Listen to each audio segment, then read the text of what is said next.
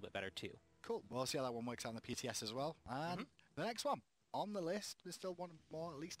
Ullr will be getting a little bit of love. Now, Ullr is going to have his bladed arrow adjusted. Adjusted.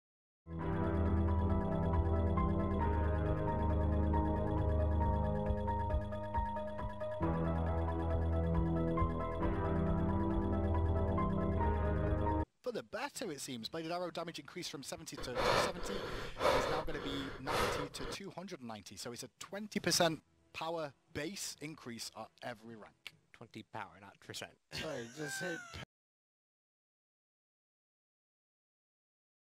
Seventh time and power, guys. That'd be My really bad. good.